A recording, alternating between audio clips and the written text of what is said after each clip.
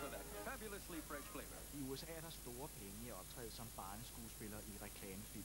Og det er emnet for en ny videofilm, som vi ser nærmere på her i Troldspejlet senere i udsendelsen. Men vi lægger ud med en række nye film i biograferne. Den første har betydet et kæmpe gennembrud for en ny skuespiller.